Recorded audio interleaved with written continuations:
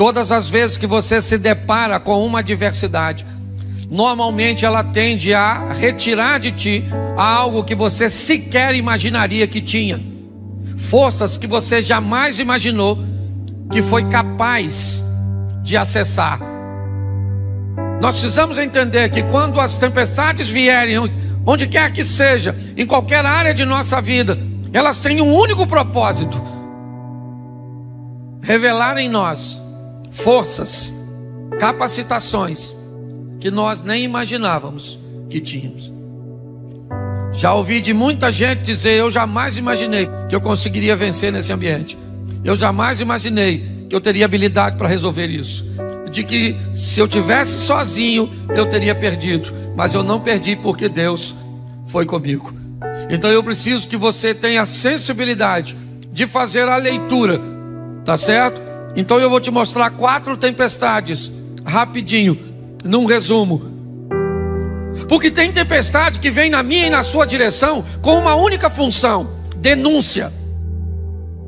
Dizer para mim e para você que esse tipo de gente, esse tipo de comportamento, esse tipo de negócios, esse tipo de alianças não podem fazer parte de nossa história. Essa é a mensagem que a tempestade vem. Ela começa a chacoalhar o navio. Todo mundo tem medo. E quem é que está trazendo aquela tempestade? Um desobediente? Se tem uma coisa que precisamos ter o máximo de sensibilidade para identificar, é quando Deus está tratando alguém. Quando alguém estiver sofrendo, por favor, antes de se meter no sofrimento dos outros, descubra que tem alguém que ama mais essa pessoa do que você. E esse alguém é Deus. Antes de ajudar alguém, pergunte a Deus se é para você fazê-lo. Porque quando você se mete na vida de alguém que Deus quer tratar defendendo a pessoa, você vira o capitão do navio. Preste atenção. Tá assim de gente perdendo o que não precisa perder, porque não tem coragem de jogar fora aquilo que precisa jogar. Nós precisamos ter a sensibilidade. A tempestade veio, veio. O que, que ela está querendo afundar meu navio? O que, que é? Será que ela tem o cunho de denúncia? Então o que, que é? É meu comportamento? Tá bom. O que, que é? é o que, que eu tô, o que que está acontecendo para que eu enfrente tudo isso? Eles começam a jogar fora e perdem o que não precisa perder. A tempestade para quando eles jogam a carga fora? Não. Então, o capitão do navio começa a vasculhar seu navio. Porque nem sempre o que vai te levar para o fundo é fácil de enxergar, está diante dos seus olhos. Às vezes o que vai te levar para o fundo é aquilo que você nem percebe, que está escondido. Tem gente com um comportamento tóxico e nocivo e sequer é capaz de identificar porque tem aquilo. Às vezes precisa de um profissional da área psicológica, porque se você não sabe o que te leva para o fundo, às vezes é aquela mágoa, aquele ressentimento, aquela decepção. Lá em 1945, assim que a guerra acabou, e você guarda isso dentro de você, você conhece alguém assim? Porque tem gente que parece cemitério de coisa ruim. Pois bem, tem tempestade que só vem para denunciar que tem algo dentro de você que precisa sair. Porque o problema não vai embora sozinho. Primeira coisa do mundo, Ivan, é o seguinte, que eu falei para você que leva tanto tempo, é para você assumir responsabilidade sobre a tua vida. Eu assumi, mano. Assumi de verdade. Sabe? E o que me conta, Assumir, me, me conta eu qual sou- foi a virada, Douglas. Ah, mano, a virada é o seguinte, né, cara? Porque como todo na vida. Mano, a virada no e cru é Deus na parada. Deus. Mas eu sempre fiz as minhas vontades, Ivan. Sempre. E paguei um preço muito caro. Porque as minhas vontades não é de acordo com o que a sociedade acha correto. Se quiser, você tá afim de fazer alguma coisa, a pessoa breca. Mas ela tem vontade. Tá reprimida lá. Tem vontade. Ela quer largar um emprego que ela tem, mas ela não tem coragem. Ela não tem vontade. Ela não quer fazer uma coisa, mas ela faz para agradar alguém. Então, assim, esses são grandes exemplos que você vai fazendo. Ah, eu não. E olha, até pra gente começar nessa parte, pra você ver de sobre assumir responsabilidade sobre a sua vida, você vai vir comigo aqui. A coisa que eu tô mais atento hoje é o mal disfarçado de bem. Porque o lado negativo é poderoso, Ivan Moré. É muito foda. E quando você subestima, sabe? Você, porque você fala, principalmente as pessoas quando elas estão começando a se espiritualizar. Quando você começa o seu despertar, agora o mal virou especialista em usar o bem contra você. Especialista. Isso eu estou muito atento. Eu vou te dar um exemplo. É o mal Eu- disfarçado de bem, né? Disfarçado de bem o tempo inteiro e ele pega o trouxa exatamente no ponto fraco. Você começa, você atinge um ponto na tua vida, geralmente a pessoa quando ela chega no fundo do poço, ou quando ela se ferra legal em alguma coisa, ela começa a buscar uma ajuda maior. Então essa ajuda, geralmente quando a gente fala, né, eu sei quando a pessoa começa a buscar Deus, ela pede, ai meu Deus, me ajuda. Então, nesse momento, você começa a se espiritualizar, você carrega geralmente aquele sentimento de culpa muito grande, então você quer viver uma vida diferente. Então, você começa a entrar nessa parada. Então, quando você começa a seguir esses princípios, né, os princípios cristãos, os princípios de uma iluminação espiritual, você começa a ver sobre amai-vos uns aos outros, como eu vos amei, tratar super bem o próximo, sabe? Essas coisas. E você para de prestar atenção na sua intuição, no que você quer. Porque é muita informação de uma vez e você acha que você já está preparado para tudo. E aí é onde o mal usa com muita destreza. Muita destreza.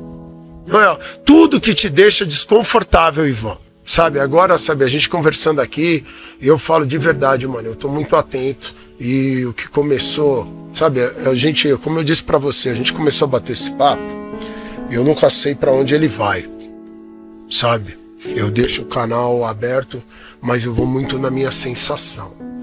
Então, eu vim pra cá, né, e conversando sobre essa parte sobre mal disfarçado de bem, mas hoje a minha mentalidade atual ela é a seguinte: quem manda em mim sou eu. Eu assumi essa responsabilidade, irmão. Assumi todas as consequências, tudo que vier à minha direção, sim, por culpa minha. Mas porque eu fiz, porque eu me desprendi exatamente dessas correntes que me cercam do controle alheio. Eu arranquei fora, eu rasguei e cada vez que passa eu fico mais atento. Eu tô hoje aqui com você porque eu quero. Porque se você viesse um pouquinho pra me agradar, não seria você. Não, não seria pra você saber assim, vai ser, não, sabe, é simplesmente eu quero te tratar bem. Eu quero. Esse é meu, sabe, isso aqui sou eu. Sabe, é um prazer estar sentado aqui com você. Mas, é, como eu falei, o papo ele fica, mas depois eu junto todos os pontos para explicar o que é. Então, enquanto você não assumir esse controle da sua vida, que quem manda em você sou eu, mas é por isso que eu falei, isso demora, Ivan. Isso demora isso porque você precisa ter coragem para fazer as suas vontades. Você vai precisar ter coragem para falar não para as pessoas. Porque isso caminha lado a lado com a parte da espiritualidade, que é onde o mal usa o bem contra você. Porque agora que você está querendo se tornar uma pessoa melhor e uma pessoa bacana, quando você entra nessa parte de se tornar uma pessoa melhor, é, é- é passo a passo. Você tem que ter uma vida completa, cara. Eu vou te dar um exemplo. Vamos falar dessa necessidade que nós estamos tendo aqui. emocional, juntos. vai, emocional, que é a cobrança de uma pessoa pra, de atenção com a outra, que é a coisa mais ridícula do mundo. E é o que mais existe na sociedade. É o que porque as mais pessoas existe. hoje, o tempo inteiro, estão vinculadas a, a compromissos com outras, ou o tempo inteiro tentando encontrar maneiras de chamar a atenção de outras pessoas para atrair a atenção dessas outras pessoas para si próprio. E muitas vezes desrespeitam aquilo que elas querem inteiramente. Baixam a autoestima, não é verdade? Porra. é, deixam de expor as próprias vontades, tudo em função de algo que elas criam na cabeça, que é ilusório. Puta, se eu tiver com essa pessoa, isso vai me dar uma chancela disso, vai me dar uma autoridade relacionada a isso, eu vou me parecer melhor para a sociedade. A gente vive o tempo inteiro é, num, num, num, castelo de ilusões em que você tenta mostrar sempre a sua melhor versão, só que essa melhor versão, às vezes, está muito desconectada do que você tem internamente. Não é verdade? Totalmente. Ivan, vamos lá. Eu gosto da vida real. Como aqui agora. A gente tem algo programado, sabe? A gente tem ah, quer fazer uma coisa extraordinária. Calma, eu tô me ajeitando. Ah, os pensamentos não estão fluindo, não estão. É o que eu tenho para aqui agora. E tudo eu bem. sou um ser humano imperfeito. E tudo bem. E tudo bem. A gente vai se comunicar, a gente vai chegar lá. E se você não chega, não tem problema, a gente está fazendo. Nós estamos realizando. Então, como você falou sobre essa vida de aparência, então, novamente, porque a pessoa precisa ter muita coragem para ser ela. Se tem uma coisa que um problema ama, são pessoas adaptáveis. Pensa num lugar onde o problema gosta de se estabelecer. É na vida daquelas pessoas que são altamente adaptáveis. Porque pessoas que se adaptam não costumam mudar de vida, elas se adaptam. Você está entendendo? A decisão é sua. A tempestade aparece, está assim de gente. Que quando chega a hora que necessita tirar algo ou alguém da sua vida, fica com dó com pena de tirar aquele funcionário, de remover aquele amigo, de mexer no distanciamento daquele parente. Às vezes quem vai levar para o fundo, ser para o fundo, é sua mãe. Mas tem tempestade que é só para denunciar. Olha para mim aqui que eu quero falar com você. Outra tempestade. Ao contrário da primeira, essa não vem denunciar nada. Porque nem todas as tempestades trazem consigo a mesma missão. O que que essa tempestade quer? Vamos lá. Então tem tempestade que ela só vem para mostrar para você que Deus está no controle de tudo. Às vezes não é denúncia, é só para mostrar o poder de quem está no mesmo barco que você. Ele falou: passemos. Quando ele disse passemos, ele dizia: Eu vou junto com e vou, mas vou dormindo. Porque eu já fiz o que eu tinha aqui, que foi autorizar você a atravessar. Tem tempestade que ela só vem para mostrar para você o poder do Deus que você. A hora que você reconhece, o problema se desfaz. Tem tempestade que acontece num grupo, mas que só vai dar a lição para uma pessoa só. Tem tempestade que vem numa família com o propósito de criar um novo estilo de vida para apenas uma pessoa. Nós queremos viver o incrível, sensacional, extraordinário, provar, vencer, romper. A vida está esperando você fazer para ela e por ela o que você nunca fez, para que ela possa te devolver o que nunca te deu.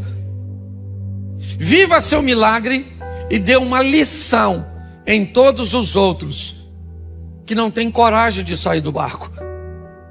Tem tempestade que só vem para mostrar para você que você é capaz de viver e mostrar para quem está perto de você que se tivesse coragem de agir, viveria a mesma coisa. Porque o nosso estilo de vida precisa inspirar outras pessoas. Tem tempestade que só vem para isso. Qual é a finalidade dessa tempestade? Um posicionamento, uma postura. Você, tá, você consegue entender isso? Tem tempestade que ela, ela vem para mim e para você com a oportunidade de vivermos o incrível, o sensacional, de andarmos sobre as águas, de ultrapassarmos os problemas.